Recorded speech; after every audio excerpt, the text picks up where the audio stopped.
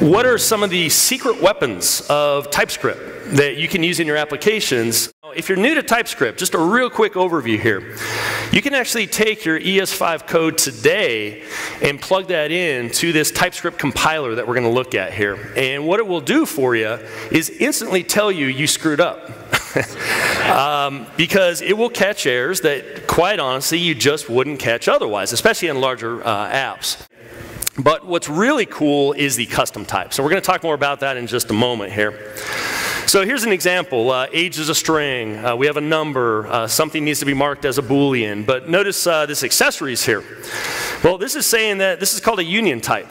And this allows us to say accessories, can, you can pass me a string, or if you want, you can pass me a string array. Interfaces are a really cool technique that they're not available in JavaScript directly, but they are in TypeScript. If you're new to interfaces, uh, they're a code contract.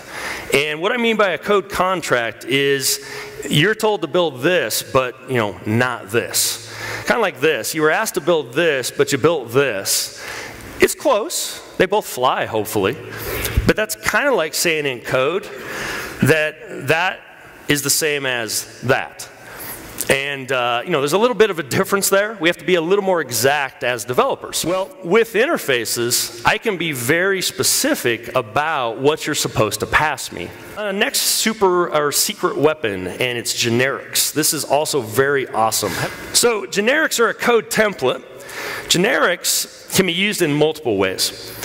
One way is if you had a class that needs to support different types. In other words, sometimes I want to use a number. Sometimes I want to use a, a string. Sometimes I want to use uh, an array, you know, whatever it may be.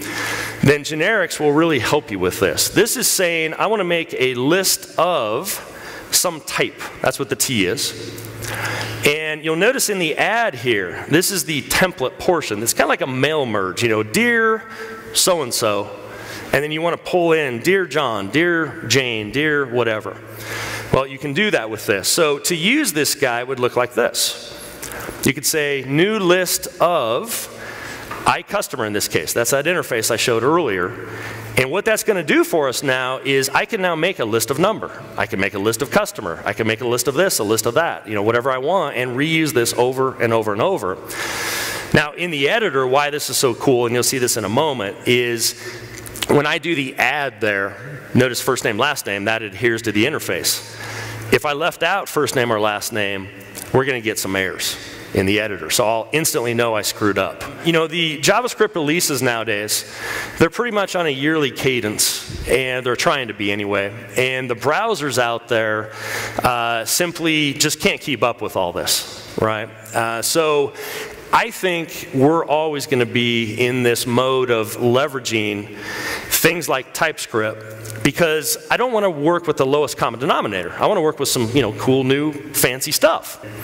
So as a review, we can have type support, excellent tooling, interfaces, generics, and we can leverage the future today. And I appreciate you listening, and I hope you are able to leverage some of this stuff with TypeScript in your app. So thanks.